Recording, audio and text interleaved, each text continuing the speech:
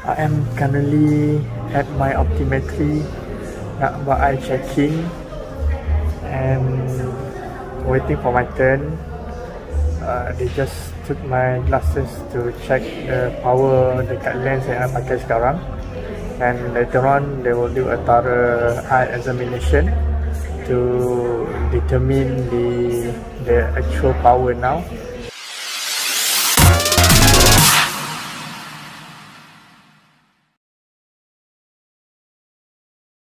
saya baru ambil uh, my new glasses, my new pair of glasses ni. So basically after 10 years, 10 tahun baru tukar. Yang menyebabkan saya nak tukar ni sebab whenever I want to read, I need to take off my glasses. Whenever I want to write, I need to take off my glasses. And sometimes bila saya tengok dekat screen komputer pun, I need to take off my glasses. So, I know dah sampai masa untuk saya tukar my glasses. And the new glasses ni This is totally different from the previous glasses. In terms of power dia reduce sikit. Tapi in terms of lens Lenses pun memang sangat berbeza. Sebab the lens yang saya pakai ni This is the lens. Lens yang saya pakai ni is a multifocal lens. Apa tu multifocal lah Sorry lah kalau bunyi bising Sebab saya tak guna external mic Saya just guna built-in mic So multifocal lens, multifocal lens ni ada tiga different section with tiga different power.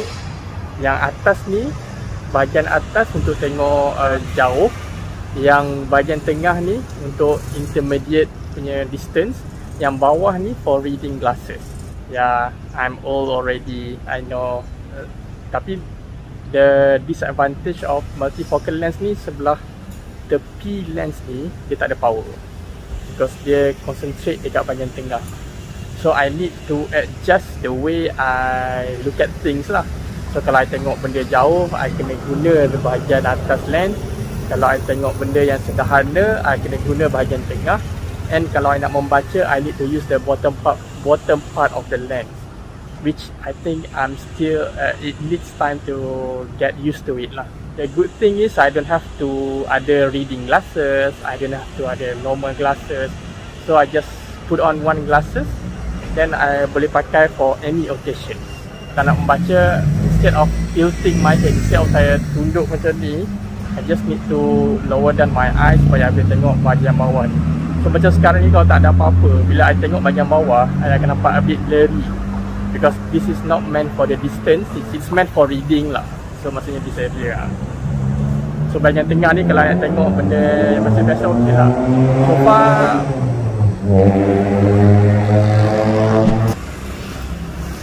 So far saya tak ada rasa any dizziness uh, Cuma my eyes ni masih nak adjust to To the structure of the lens. Macam atas, bawah, tengah. So it, I'm still trying to get used to it. Macam mana nak cari, um, nak tengok certain area which part yang saya patut tengok saya patut fokus at which part of the lens. Kalau nak membaca tu senang lah tapi kalau nak tengok uh, benda yang agak jauh sikit so that's where I need to try to find the sweet spot untuk dapatkan the sharp focus.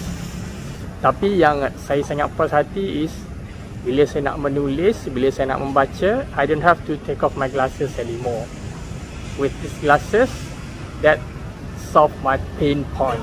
After 10 years baru tukar. So I have vision 2020 in 2021 shout out to my optometry for their excellent service.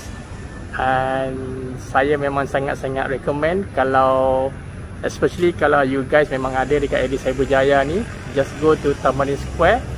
Dia ada dia ada kedai dekat situ my optometry. Memang the service they are very focused on the customer service lah I must say. Uh, thank you very much for your good service and yep I think that's about it. See you when I see you